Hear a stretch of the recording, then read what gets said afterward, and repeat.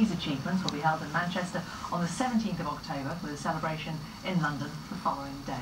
Well, Sky's Enda Brady is live at Heathrow Airport for us.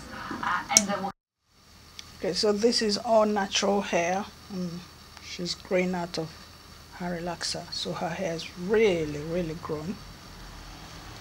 And um, we're trying to create a foundation for her to occasionally wear a hair unit, a wig unit. So how do I work with natural hair that's this long and all tangled? So that's why I really want you to see what I'm doing. So first, this is just water. And so I spray the water in. Now this is just to avoid her getting all hurt.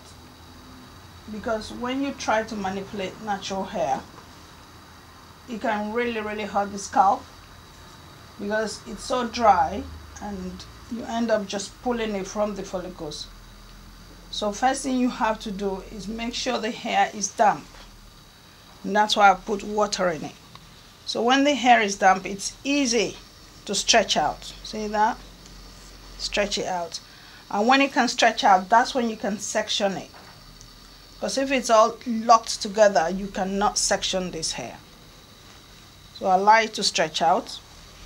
If you find it still dry, just put some more water.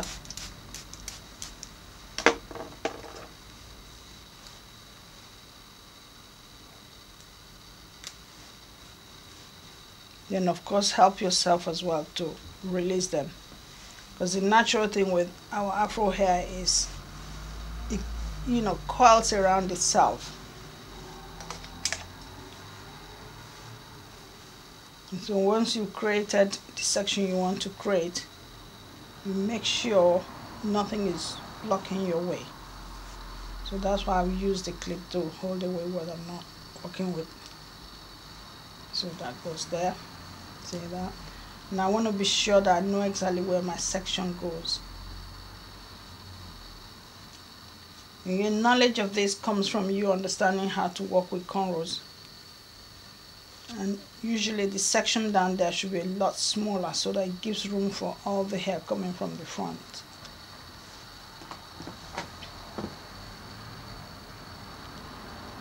And now I can easily go through very easily making sure I get the exact section I want. Remember the main trick here, the hair is damp and so it stretches out very easily.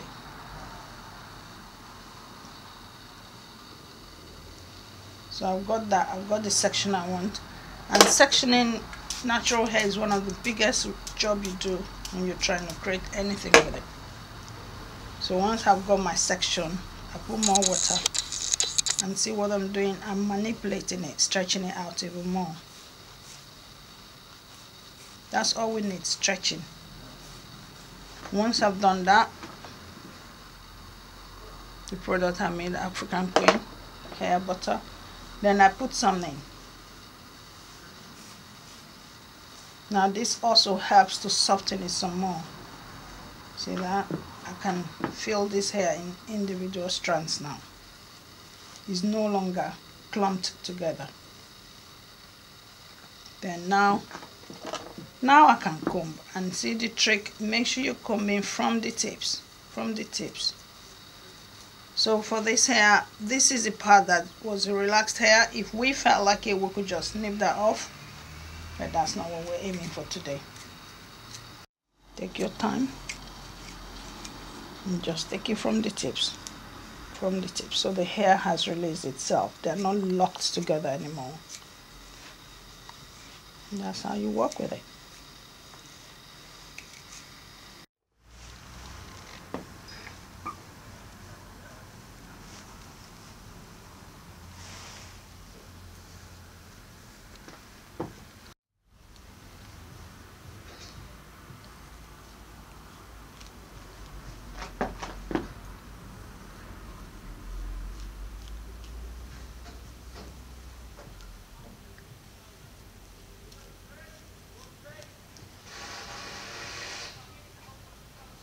The hair damp, you can section it easily. And if you find it still tangled, take your fingers and detangle it. And because it's damp, it allows you to do that very easily. And that's one of the best things for the natural hair. Lots of moisture. You start the moisture with water. That's my advice.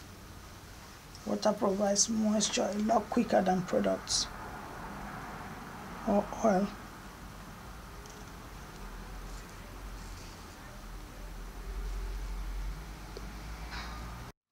So after dampening with water, then your moisturizer comes in. Now once there's water, the moisturizer works better with it. And so it blends in really easily. Then you can come back Remember, always at the tip. Always start from the tip.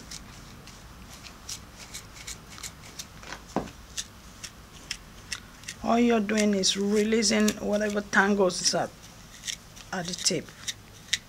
Taking away the tangles, allowing the hair to remain in strands that allow you to work with it.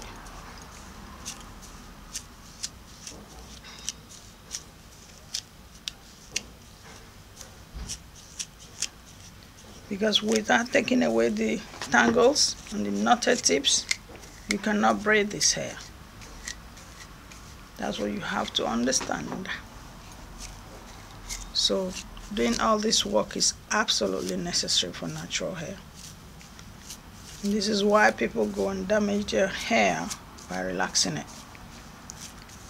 Because no one wants to go through this work but once you understand what you're doing, you can have a healthy head of hair on your head. And play with it. Do different things with it. Braid it. Create foundations like this to wear your wig. Style it. Weave it. Do whatever you like. That's the beauty of having natural hair. The fact that the hair is on your head is still there. You could have times you just release the hair and let it show comb through it. Okay so we finish combing then you're ready to braid. Very easily. You can get your hair in sections ready for your cornrows. What you really need to do is make sure your fingers flow through the hair each time you interweave. Don't allow it to knot itself in your hands. See that? So you keep stretching and releasing. Stretch and release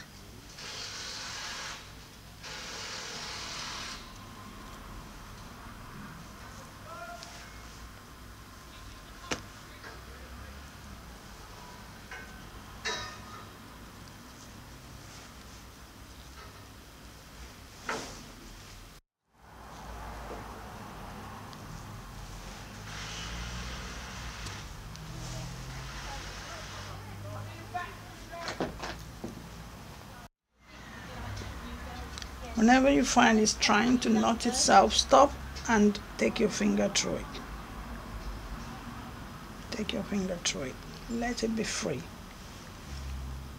If it's free, your cornrow is flowing.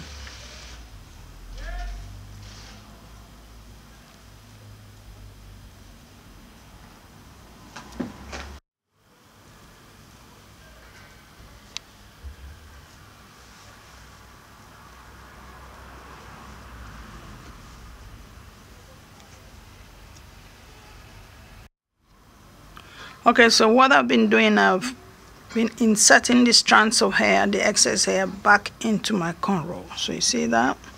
And that's how I achieved all those. Now what you by doing that you're trying to take away excess hair from all over the place. You're putting it back into the cornrow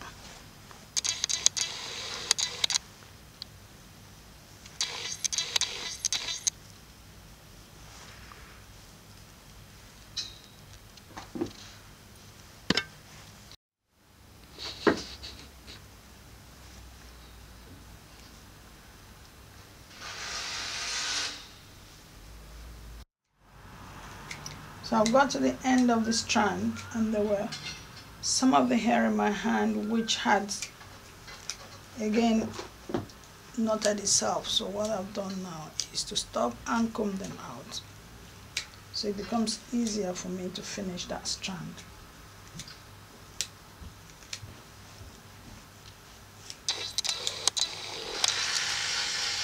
So it's free again and now I can finish my strand.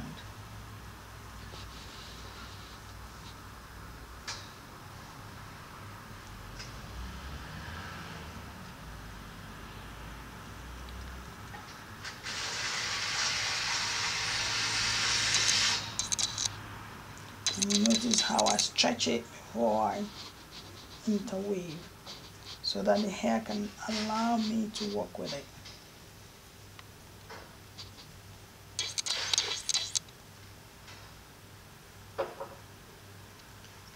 Go.